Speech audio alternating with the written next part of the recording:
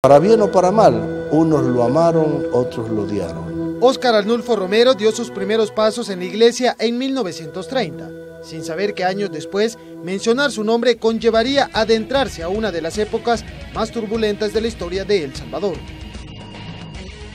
No había un espacio para que el pueblo se manifestara. Al inicio de su vida espiritual, su compromiso social no era tan evidente.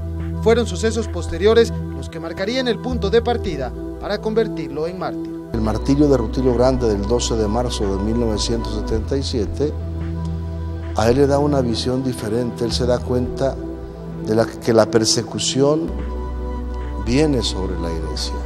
De ahí la postura de Monseñor Romero fue cada vez más comprometida con el pueblo. Y viendo la situación de injusticia que había en El Salvador, ¿verdad? Que muchos tenían, muchas, pocos tenían muchas cosas y la mayoría no tenía nada.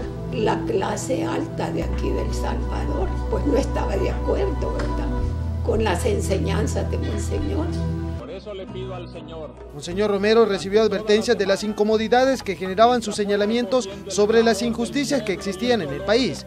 Los días 22 y 23 de marzo de 1980, las religiosas que atendían el Hospital de la Divina Providencia recibieron llamadas telefónicas anónimas que lo amenazaban de muerte y finalmente, el 24 de ese mismo mes, fue asesinado cuando realizaba la consagración.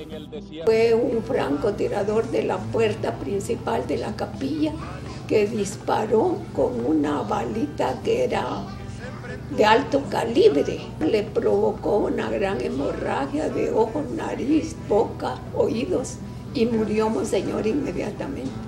El funeral celebrado en la Catedral Metropolitana de San Salvador el 30 de marzo de 1980 se convirtió en una batalla campal en las que las fuerzas de seguridad arremetieron contra los asistentes concentrados en la plaza de la catedral pero el legado que dejó Monseñor Romero nunca desapareció, dicen algunos feligreses. Como fue nuestro Señor Jesucristo, que por la verdad lo condenaron. Así le ha pasado a Monseñor Romero. Él se dedicaba a la gente pobre y por eso muchos lo seguían. El Santo de América, Monseñor Oscar Romero. Se cumplen 37 años de su martirio a la espera que finalice un proceso en la congregación de la causa de los santos en el Vaticano. Con imágenes de Roberto Martínez, informó Antonio Valladares.